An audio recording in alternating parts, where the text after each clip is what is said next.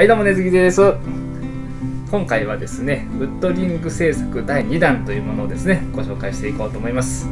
前回ですね作ったものっていうのはあの一番シンプルな輪の形を作るというものだったわけなんですけどもそこにですね今回はアレンジを加えましてこういった形のビーズをつけれるような形にしていくというものをですねご紹介していこうと思います。ポイントとしましてはこのやっぱりビーズを装飾するためのこのカーブをつけるっていうのが今回のミソになります。結構ですね今回のやつは難しいんですけども是非一緒にやっていければいいなと思います。ほなやっていきましょう。はいではですね皆さんですね次の工程といたしましてはですねこちらのこのリングというのの構造としましては土台のリングにカーブの新たな木を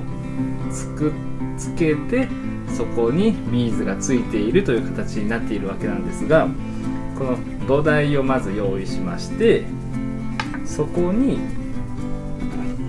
この木をですねまたあの電子レンジに入れて柔らかくしたものを加工していくわけなんですけどこれを巻きつけてカーブを作っていくわけになるんですね。なのでまずはこれをですね半分に切ってしまいましょう。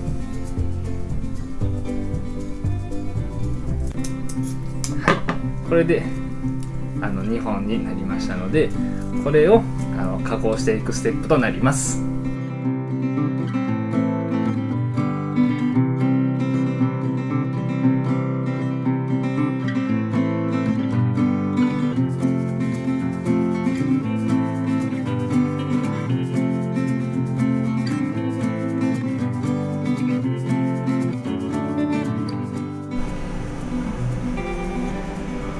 はいではですね皆さんこんあのこちらの方ですね電子レンジから出してきたこのカップなんですけども次の工程の説明をさせていただきますとこのリングを作った時の土台のなるこの棒ですねこれと同じものをですね用意してください。そしてこれにまたさっきあの今電子レンジから出てきたものを巻きつけていくんですけどもここのカーブの部分をですね作る工程になりますので自分の好きなここのカーブの形に沿ったあったこういうものをですね小さいものをですね用意していただくんですね。こういう感じで巻きつけていくわけなんです。ここの小さなこの棒の形が自分の好きなカーブの形になるサイズのものをですね選んでください。じゃああの始めていこうと思います。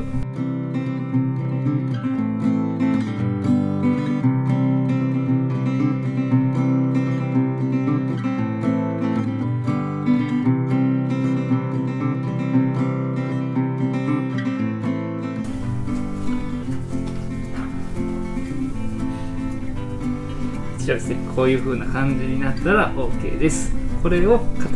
こから乾燥に入るのでこれをキープしていけるようにマスキングテープか輪ゴムか何かで縛ってください。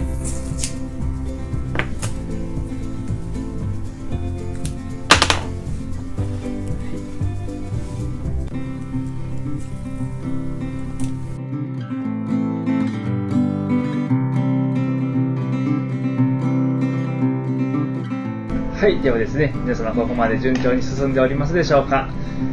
で先ほどですねマスキングテープで巻いたものをマスキングテープからね取った状態がこの状態になるんですけどもこんな感じでなんかこうなんとなく完成図がもう見えてきましたよね。はい。この乾燥した状態のこれをですねこの土台のこのリングになる部分とこうやってはめてあげるわけなんですね。で次はこの土台とこの今作ったこのカーブのこれをですね接着していこうと思います。でもその時に接着していきながらここもね一緒にもう全部形を接着剤で作っていきながらやっていきますので皆さんここがですねあのこの作品のかなり大事なポイントになってきますので慎重に作業をしていこうと思います。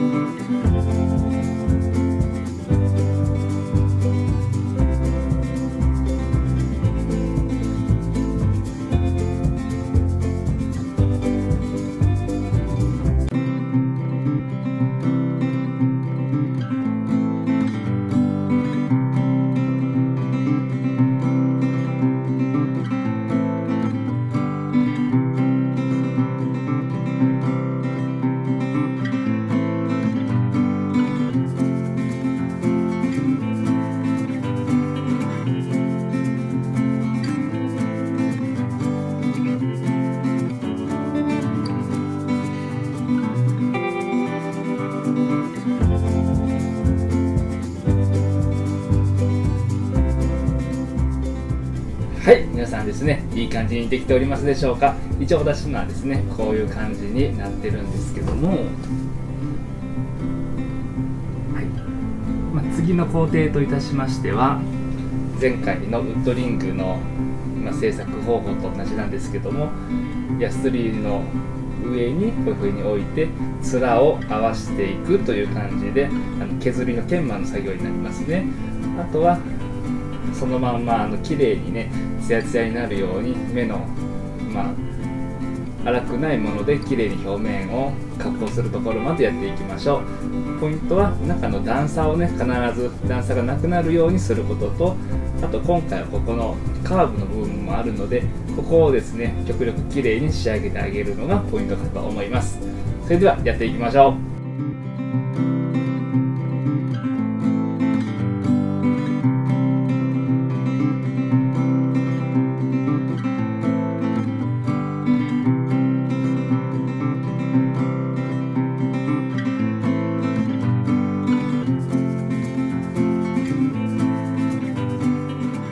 はいどうも皆さんうまいこと言ってますでしょうか？一応私のやつがですね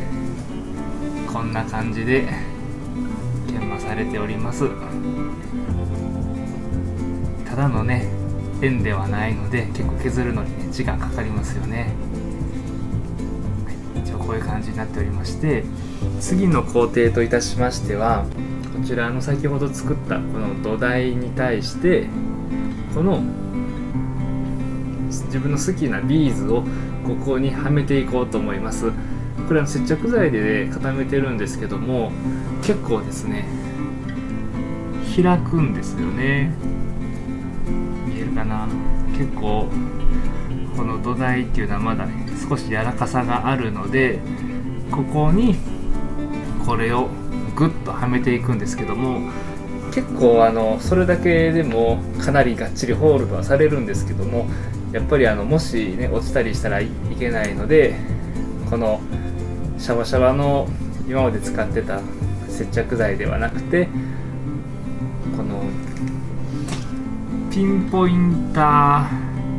ー液状っていうなんかねこういうやつがあるんですけどもこれちょっとねジェルっぽくなってるんですね。あんまり垂れないんですね。でしかも押すと1滴ずつピュクあの1滴1滴ずつ あの出てくるのでそれを3箇所ですね。こちらこちらリングの本体と真ん中に3滴置いた状態でこれをはめていこうと思います。そうすることで、ね、がっちりホールできるのでやっていこうと思います。ではやっていきますね。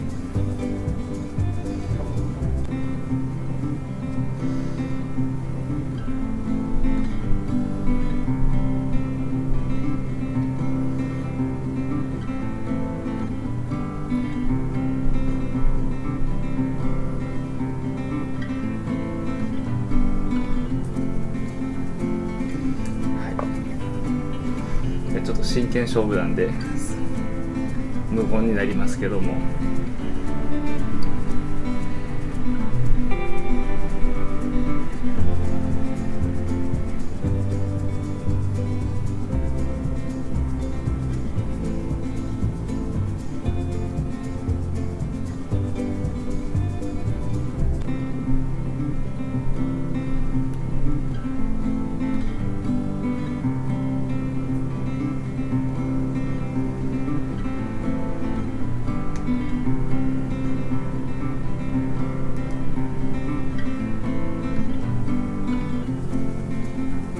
はいできました。一応こういう感じでですねがっちりもう入ってますのでこれであの接着剤が乾いた頃に次は上からニスを塗っていったらあのそれで完成です。なのであのまだそこまでは早送りで見てください。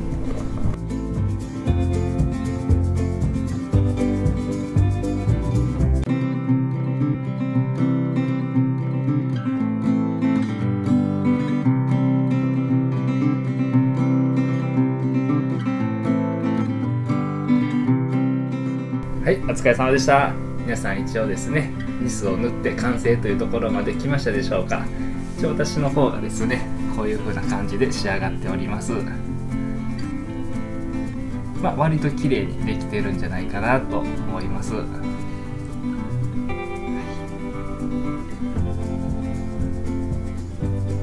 一応手につけると私ちょっとね小指しか入らないんですけどこんな感じですね。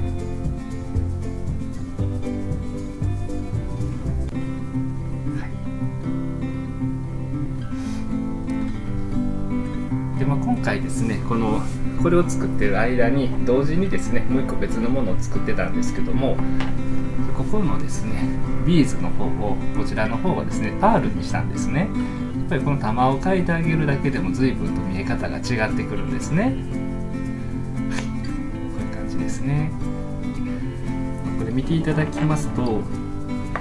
このカーブの部分がですねあえてこの角度を変えてるんですけどもこのカーブを変えてあげるだけで見え方ってだいぶ変わってくるんですねこっちのあのこっちのビーズの方が花柄になってるのでこのつぼみが咲いたようなイメージをちょっとこのリングの形にですね与えるて与えるためにちょっとこう広めのカーブにしてるわけなんですけどもこっちは貝が閉じたようなね雰囲気をするためにあんまりカーブはつけすぎないようにしたわけなんですね。結構ねこのカーブのアクセント一つで随分と見え方っていうのも変わってきますのでちなみにこちらの方がつけてみるとまあこういう感じですね。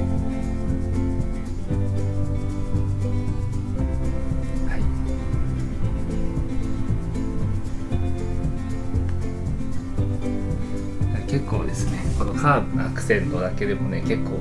世界観っていうのを表現したりすることができるので皆さんね自分の作りたいような世界観っていうものを考えながらこの造形をねやっていくとまた自分の世界観っていうのをね深く表現できるのではないかなと思います。